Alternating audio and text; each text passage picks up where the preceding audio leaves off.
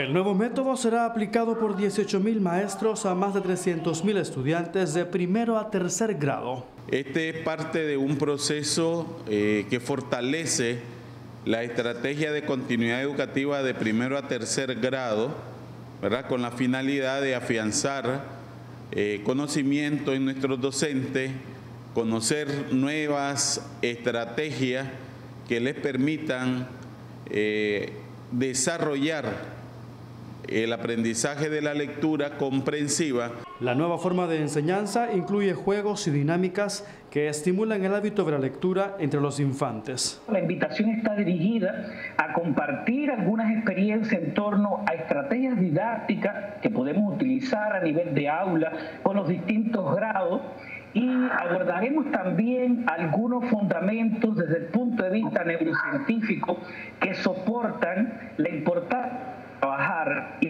al niño durante todo su crecimiento y maduración para los procesos de lectura. Adicionalmente, las autoridades del MINET indicaron que para el resto de primaria y secundaria se analizarán otras herramientas pedagógicas a fin de fortalecer la comprensión lectora.